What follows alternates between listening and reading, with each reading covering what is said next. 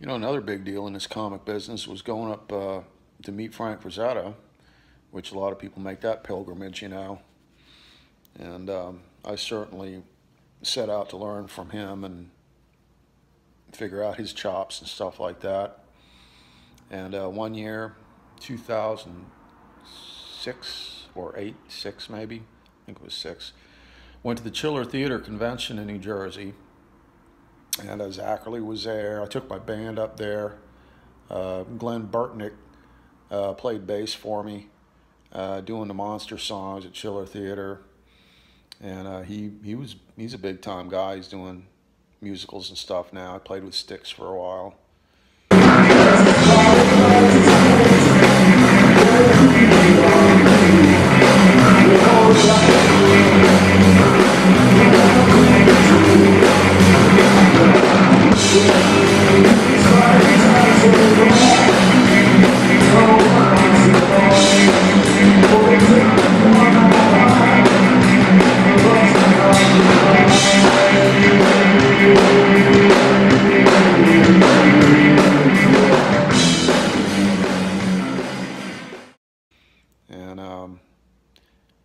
You know, Chiller Theater was a lot of fun. Frank Frazetta Jr. was there, talked to him a bit. And he said, Oh, yeah, you know, you should come out to the house tonight.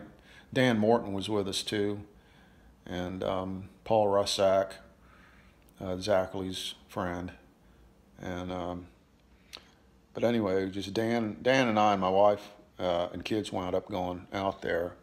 And, uh, you know, it's like you meet your God or whatever. And, walked into uh, Frank Jr.'s house and uh, walked in the back, and there's Frazetta sitting there, you know, good bit older than in the pictures and stuff, you know, and he had a whole bunch of crap on the coffee table that Frazetta Jr. had brought, you know, people handing him stuff, saying, give this to your dad, I guess, you know.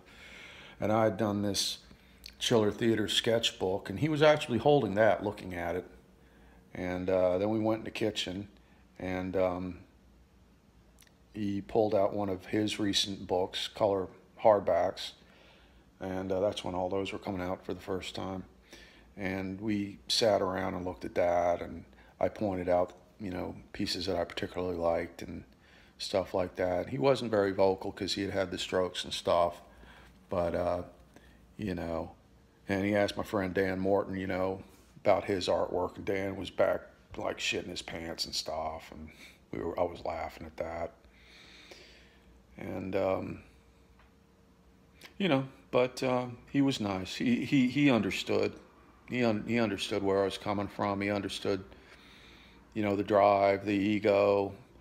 So when then it was time for him to go to the hospital. Have so yeah, he um, we walked out and into the sunshine and everything, and he was still carrying that Chiller sketchbook, and uh, stood out there and waited for the car and stuff um, he never talked that much. I understand why, but it was a nice place, nice time. And um, we still chat occasionally.